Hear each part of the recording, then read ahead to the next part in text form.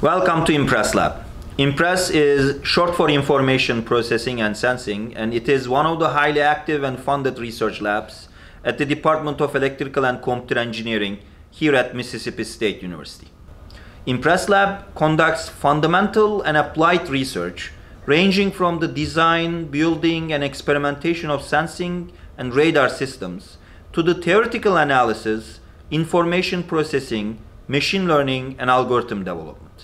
Dr. Kurum and I are both co-directors of Impress Lab and faculty at ECE. We develop a funded research program with competitive support from federal agencies such as Department of Defense, NASA, National Science Foundation, and United States Department of Agriculture in the areas of signals of opportunity, physics-guided machine learning, radar and array signal processing, sensor fusion, autonomous systems, computational imaging, and remote sensing. These grants helped us to support both graduate and undergraduate students in our research. We have been fortunate to work and advise highly talented graduate and undergraduate students in our lab.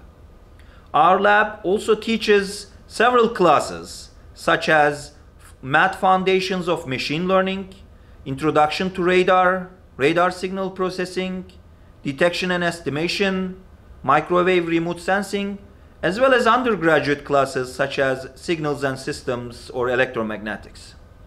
My principal technical area is applied electromagnetics and remote sensing from satellite scales to small aerial platforms in environmental sustainability, particularly in agriculture. My current research focuses on recycling the spectrum to address the challenges of decreasing radio spectrum space for science, while exploring entirely new microwave regions for land remote sensing.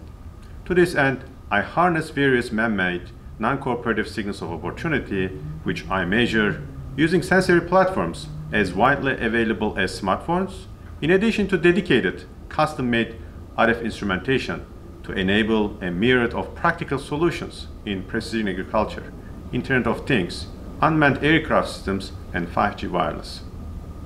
My principal technical area is machine learning, signal processing, and computational imaging, with radar, remote sensing, and autonomy applications.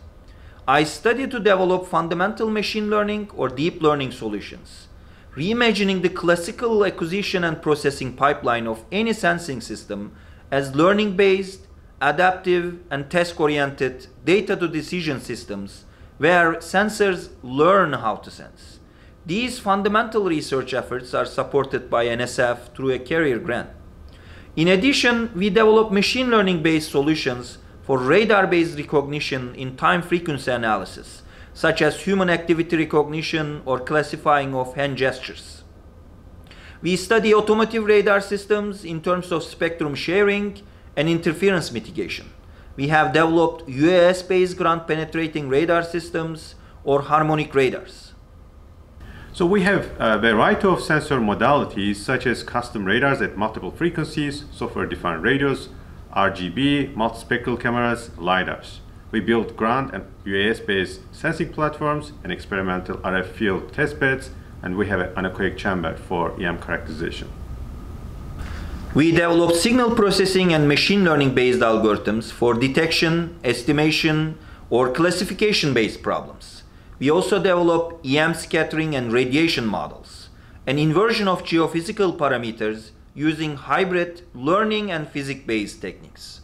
In short, Impress has a wide spectrum of capabilities in radar and remote sensing, information processing areas, and we are open to collaborations.